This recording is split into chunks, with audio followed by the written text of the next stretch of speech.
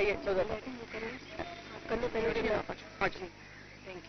बिस्मिल्लाहिर्रहमानिर्रहीम आज माशाल्लाह हम लोगों ने 400 से जायद जो खवतान हैं उनके इंटरव्यूज़ कंडक्ट किए गए हैं। और मैं मोहतरम कायद मियाँ मोहम्मद नवाज़ शरीफ साहब की मोहतरम शबाज शरीफ साहब की और मोहतरमा मरीम नवाज़ साहिबा की। बहुत मशहूर हूँ कि जिन्होंने पर्सनल इंटरेस्ट लेकर मेरे ख्याल से फ़र्स्ट टाइम ऐसे हुआ है।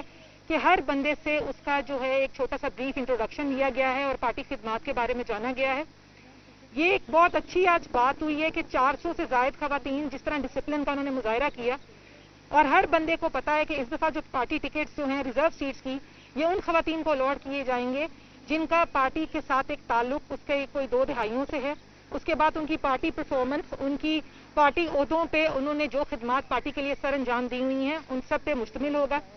इसके अलावा आज की जो सबसे अच्छी बात मुझे लगी है, वो ये है कि पार्टी में हाउसवाइफ्स के अलावा या वर्कर्स के अलावा, जिन खातन ने, जिनका नंबर बहुत ज़्यादा था, उनमें एडवोकेट्स की एक बहुत बड़ी तादाद शामिल थी डॉक्टर्स थी टीचर्स थी, और मैं कहती हूँ, ये अब हमारा चेंज जो पार्टी में इस दफ़ा नज़र आ रहा है, ये एक हम सब के लिए बहुत बड़ी जो है वो एक खुश आइन बात है। क्योंकि अगर इसी तरह औरतों वाले सेगमेंट को भी हम नजरअंदाज अब ना किया जाए, जिस तरह मैडम खुद सीईओ हैं और वो मैडम के लिए मिसाली एक हमारे लिए मिसाल एक उन्होंने रकम की है पार्टी के लिए खिदमात की। तो इसी तरह ये खातन भी हम चाहते हैं कि वही खातन आगे आए जो पार्टी का नाम आगे लेके चले। बहुत शुक्रिया जी। जी। रहीम। बहुत शुक्रिया। आज का इन्होंने बताया नौशीन साहिबा ने कि 400 400 प्लस खातन जो थी, वो यहाँ पे मौजूद थी। एक बहुत अच्छा हमारे सामने एक पूल ऑफ़ टैलेंटेड खातन टेक्नोक्रेट्स और उसमें नज़र आया है। हमें doctors engineers educationist all fields and all walks of life जो कि बहुत ज़रूरी है। आज हमारे कायद, मैं बहुत शुक्रगुजार हूँ, मियाँ मोहम्मद नवाज़ शरीफ साहब, शहबाज शरीफ साहब, मरियम बीबी की, कि उन्होंने आज बड़े तहमुल के साथ सारी खवतान को सुना, उनका इंटरव्यू लिया गया है और उनकी काविशों को सराहा गया है। यहाँ पे मैं अप्रिशिएट करती हूँ उन्होंने खास ये बात मियाँ साहब ने की, जो खुशाइन थी कि वो उन्होंने कहा कि पार्लियामेंट में मैं तो चाहूँगा कि इस तरह सारी खातन जो हैं, वो वो यही पार्लियामेंट बन जाए। इतना उन्होंने कहा और उनको भरोसा है इस बात पे कि खातन जो है, वो बहुत अच्छा काम करती हैं। अपना काम जो उनको दिया जाता है, वो अपना दिल लगा के करती हैं, मेहनत है। आज इसीलिए मैं, हम सारे खुश भी हैं कि उन्होंने बहुत शाबाश दी है कि खातन विंग जो है, वो बहुत, अल्हम्दुलिल्लाह, एक अच्छा और एक सारा डॉक्यूमेंटेड हो गया है। मरियम बीबी के आने से chief organiser union council level ward level तक हमारा अल्हम्दुलिल्लाह काम जारी है। हमने फोकस किया अपने काम के ऊपर और इन ताला सब हम जानते हैं कि कोई मुल्क तरक्की नहीं कर सकता जब तक खातन शाना बशाना ना चले। अब वो वक्त आ गया है कि हमें सबको साथ देना है। मियाँ साहब और हम सब का जो ख्वाब है, हम सब हम सब लोगों का कि पाकिस्तान को इन डेवलप ममालिक के सफ में देखें वो ज़रूर पूरा होगा इन ताला। इसमें मैं सिर्फ़ इतना ऐड करना चाहती हूँ कि ये फ़र्क है एक जमहूरियत पसंद पार्टी के अंदर कि जो खातन को ढाल के तौर पर इस्तेमाल नहीं करती जो खातन को अमनो अमान तबाह करने के लिए इस्तेमाल नहीं करती जो खातन को आ, उनके बारे में जो गुफ्तगु जिस तरह से उनके बारे में उनकी अपनी पार्टियों में बातें होती हैं ये फ़र्क है पीएमएलएन और बाकी उस उन पोलिटिकल पार्टीज़ के बीच में कि पीएमएलएन के अंदर जमहूरी दिमाग रखने वाली लीडरशिप है और उसके साथ साथ जमहूरी माइंडसेट रखने वाली खातन है, जो एक पोलिटिकल प्रोसेस के ज़रिए सामने आई हैं और हर खातून दूसरे से बढ़कर है। ये एक बड़ा मुश्किल होगा पार्टी के लिए कि वो उसके ऊपर जो उनको लिस्टें तैयार करनी है।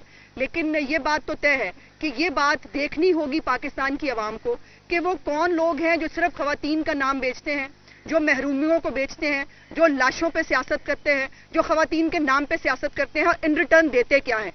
हमारी मुस्लिम लीग नून के अंदर खातन इस वक्त की उहदों से लेकर हर एक जगह पर अपना पोटेंशियल इस्तेमाल भी कर रही हैं और पाकिस्तान की पॉलिटिक्स की लिए वो कारसाज भी हो रही हैं।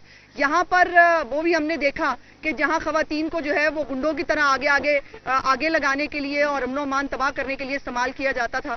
और आज भी उन खातन का जो किरदार है, वो एक बहुत बड़ा सवालिया निशान है। पाकिस्तान की वो खातन ये है वो खातन जो पाकिस्तान की खातन की नुमाइंदगी करती हैं।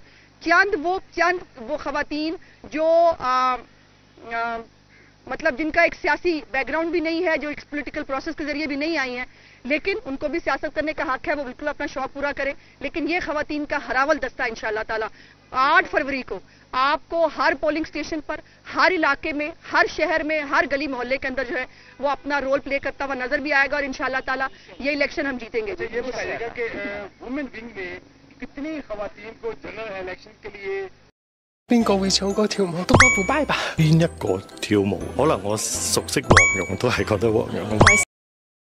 समझते हैं कि ये जनरल इलेक्शन के लिए सूटेबल है या वही चार पांच होंगी जैसे नौशीन है सुमेरा मलक है या सायरा सुल्तान वगैरह या फिर रिपीटेड जो है खातन आएँगी जो पहले भी दो दो चार चार दफ़ा जो है वो आ चुकी हैं जिससे जो जैनो जो और अदर जो वर्कर्स हैं आपके खातन उनका राइट मारा जाए तो फिर वो मुख्त तरह की बातें भी सामने आती है। क्या वर्किंग है इस बारे में?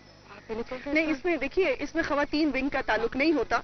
खातन मैं गुजारिश करूँ मैं गुजारिश कर लूँ जो खातन डायरेक्ट इलेक्शन लड़ना चाहती हैं उनकी एक इस्टेब्लिश्ड कॉन्स्टिट्यूंसी होती है और वो आ, मर्दों के साथ बराबर में जो है वो सियासत करी होती है। खातन विंग जो है वो रिज़र्व सीट्स को बेसिकली कैटर करता है। बिकॉज़ ये जितनी भी खातन को नॉमिनेट किया जाएगा, ये पार्टी की मुख्तलिफ़ टीयर से होंगी, ये पार्टी के मुख्तलिफ़ सेगमेंट से होंगी। और ये हमने पहले भी मुस्लिम लीग नून ने एक बड़ी तादाद में, हर असम्बली के अंदर भी और नेशनल असम्बली के अंदर भी ये खड़ी है हमारे पास नेशनल असम्बली की एक एग्ज़ाम्पल जिसके अंदर डायरेक्ट इलेक्शन के लिए औरतों को प्रमोट भी किया है, उनको इंकरेज भी किया और इस दफ़ा भी एक बड़ी तादाद में आपको औरतें इलेक्शन लड़ती हुई नज़र आएँगी। कि खातन को जो मेंबर्स होती हैं रिस्पॉन्सिबल होती हैं जिम्मेदार काबिल इज़्ज़त काबिल एहतराम है।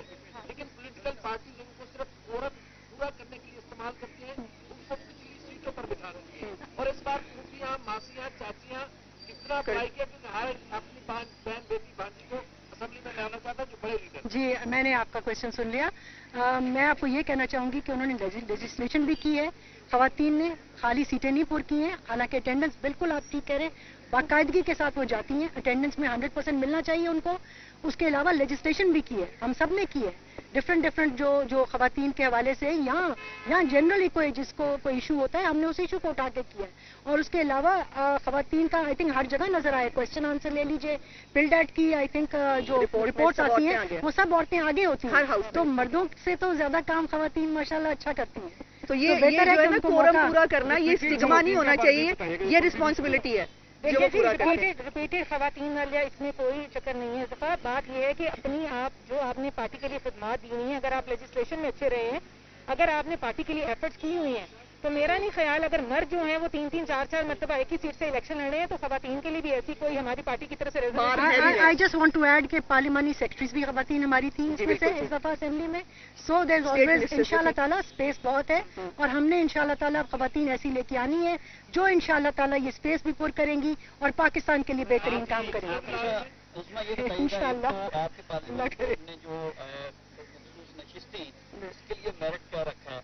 और दूसरा ये बताइएगा कि जिस तरह से आपने कहा कि दीगर जमाती पीटीआई वगैरह जो खातन है वो बाहर ढाल बनी या निकली तो कल को अगर आपके लीडरान पे भी मुश्किल आती है तो आप लोगों की खबर भी बाहर निकली हमेशा निकली है लेकिन वो करने नहीं निकली जो वो करने निकली थी। देखिए इसके लिए मेरिट के लिए हमने एक स्कोर बोर्ड बनाया है जिसमें उनकी अटेंडेंस है उनकी पार्टी कमिटमेंट है उनकी पार्टी इवेंट्स पे उनकी प्रेजेंस है। मैं फिर से आपको बता देती हूँ कि पार्टी के इस दफ़ा टिकट अलॉटमेंट के लिए हमने एक स्कोर बोर्ड बनाया है।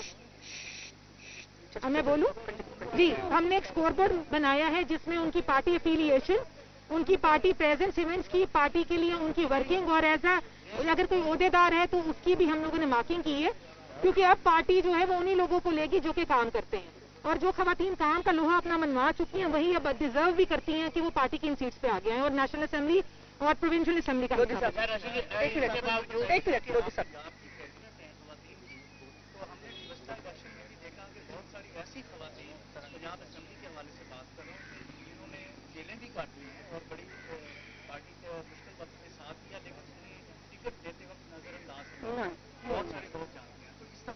नहीं बिल्कुल आप लोग तसली रखें।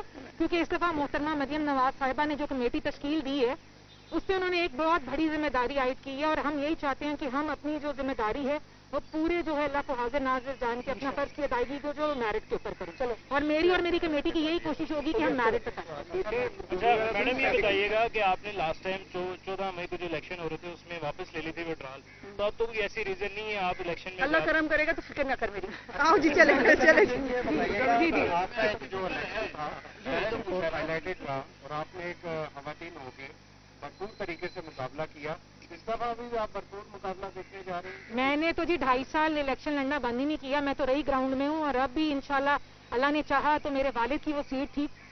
और इस दफ़ा भी जीत के मोहत- जो है मैं अपने कायद को मियाँ मोहम्मद नवाज़ शरीफ को इंशाल्लाह वो तोहफे में दूँ सवाल मरियम नवाज़ शरीफ साहबा मखसूस आ रही हैं या जनरल इलेक्शन कंटेस्ट ये देखिए देखिए जनरल इलेक्शन ही करेंगे लेकिन इसका फैसला अनाउंस कर दिया जाएगा। आए जी थैंक यू थैंक यू